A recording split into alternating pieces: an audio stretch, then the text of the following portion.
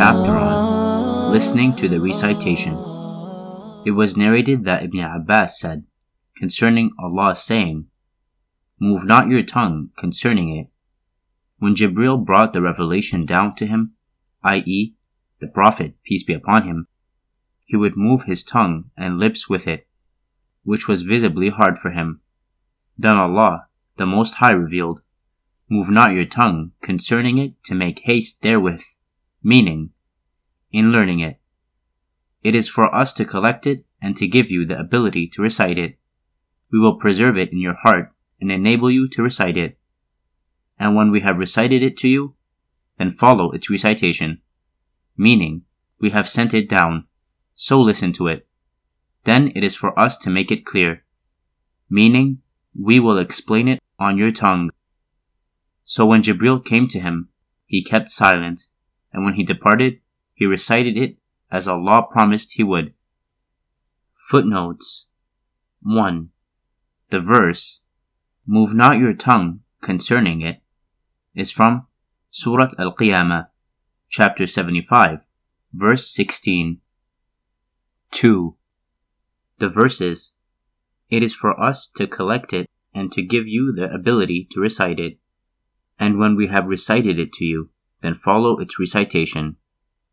Then it is for us to make it clear. Are from Surat Al Qiyamah, chapter 75, verses 16 to 19. It was narrated from Musa bin Abi Aisha from Sa'id bin Jubair that Ibn Abbas said, concerning, Move not your tongue concerning it to make haste therewith the Prophet, peace be upon him, experienced some hardship when the revelation came to him, and he used to move his lips. Ibn Abbas said to me, I will move my lips for you, as the Messenger of Allah, peace be upon him, used to move his lips. And he moved his lips. Sa'id said, I will move my lips for you, as Ibn Abbas moved his lips, and he moved them. Then Allah, the Most High, revealed, Move not your tongue concerning it meaning, I will preserve it in your heart. Then you will be able to recite it. And when we have recited it to you, then follow its recitation. Meaning, so listen to it attentively. Then it is for us to cause you to recite it.